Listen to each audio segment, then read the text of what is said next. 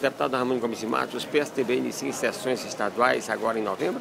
Sem sombra. O calendário eleitoral prevê as sessões, né? fizemos os programas de gravações a fim de que nós possamos apresentar ao Estado assim, a proposta local e a proposta nacional. Com relação às sessões, quem é o destaque?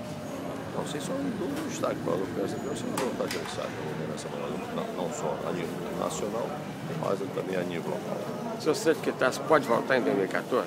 Eu creio que sim, a população vem cobrando, a gente tem sempre, do interior do Estado, a população sempre vem cobrando né, a presença do senador Tasso no processo político eleitoral, a fim que nós possamos ter, a partir também da candidatura presidencial o fortalecimento das suas ações.